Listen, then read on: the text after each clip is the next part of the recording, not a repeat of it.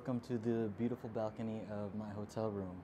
Um, right now we're in Aguas Calientes in Peru, which is around 25 minutes from Machu Picchu. We just got back from there this afternoon. Um, it's about 4 p.m. right now. We're wrapping up and getting ready for dinner. This is day two of the trip.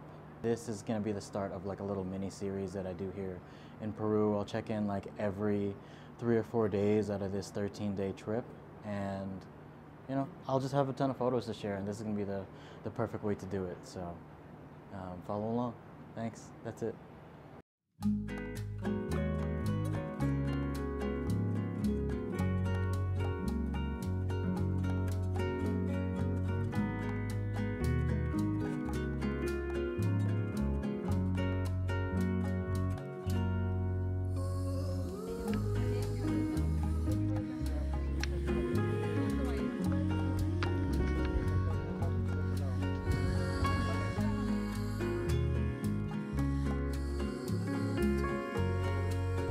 You